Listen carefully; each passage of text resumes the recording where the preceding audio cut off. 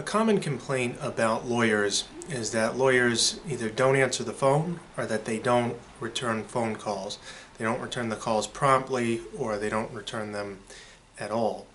Um, I think a lot of people fail to understand the, the nature of work that the, the lawyer is involved in on a daily basis.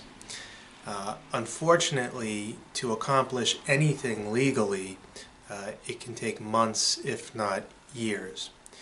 So, uh, if a lawyer has, say, a court hearing uh, that's taken uh, months for him to to set up procedurally and to prepare for, it's hard for him to uh, stop what he's doing uh, and set that client aside in order to to field a phone call or to return a phone call. Uh, same thing as if the, the lawyer were involved in a real estate transaction that took months to set up or a business deal that took years in preparation. Um, the lawyer, almost on a daily basis, is dealing with high stakes legal matters uh, that have been ongoing for, for a long, long time. Therefore, the lawyer really needs to focus on what is crucial uh, on the day at hand. Uh, now, if you want to communicate with your attorney, I would say this. The lawyer is going to speak with you initially, and the lawyer is going to speak with you every time that there's something uh, essential or crucial to your case. In between time, the lawyer may or may not um, uh, have much communication with you. But if you call the lawyer uh, constantly, uh, then he's going to be less likely to respond to you. Um, it's also always better to email the lawyer.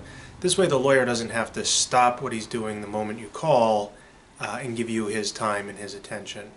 Okay, he can get to the email uh, when when things are slow and when he has time.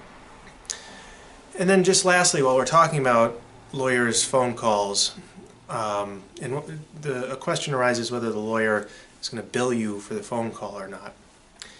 If you hire a lawyer from a large law firm, um, then it's almost guaranteed that the lawyer is going to bill you for the phone call.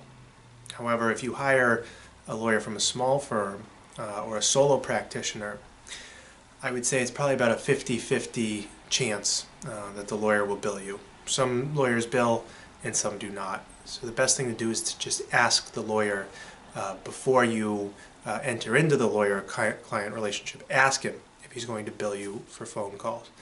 But either way, um, there needs to be mutual respect. Okay, the lawyer needs to give you his time and his attention when it's due, and you need to be respectful of the lawyer's uh, time in between time. Okay, in between the the initial conference and the hearing. Uh, if something's not crucial. Um, then you may want to think twice about communicating with your lawyer, or if you do, uh, you may want to send an email rather than uh, call him on his phone.